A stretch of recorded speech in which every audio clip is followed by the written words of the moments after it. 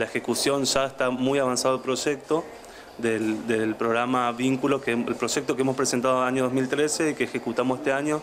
Están muy contentos porque hemos cumplido sobradamente los, objetivos que nos planteábamos. ¿Y en esta línea los invitaron para que Reconquista eh, cuente su experiencia en la ciudad de Santa Fe? Sí, también, bueno, como es una experiencia que le digamos interesante, la provincia nos seleccionó entre más de 150 proyectos para que expongamos sobre nuestra experiencia, digamos, en el municipio, en, la provincia, un encuentro que se va a hacer el 4 de diciembre, que es un coloquio de cierre del programa donde se eligen algunos proyectos, digamos, que estimo deben ser lo más relevante en la ejecución, digamos, ¿no? Es que Reconquista emprendió un camino particular hasta ese momento, el tema de la mediación como una herramienta para la resolución de los conflictos. No, no era algo muy utilizado hasta ese momento.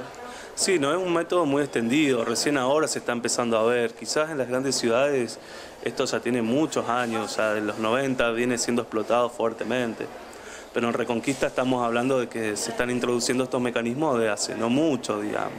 El tema de poder contar con un mediador comunitario y resolver, digamos, conflictos tanto in situ como incluso los vecinos vienen aquí también a hacer el planteo y, poder trabajar con, ellos los conflictos, digamos, es muy positivo porque además lo que intenta la mediación comunitaria es resguardar el vínculo, pero van a seguir siendo vecinos, como decimos nosotros. Así que desde ese lugar sí una experiencia muy interesante que, bueno, a la provincia le interesó poder llevarla y contarla en el seno, digamos, del, del encuentro con todos los proyectos de la provincia, ¿no?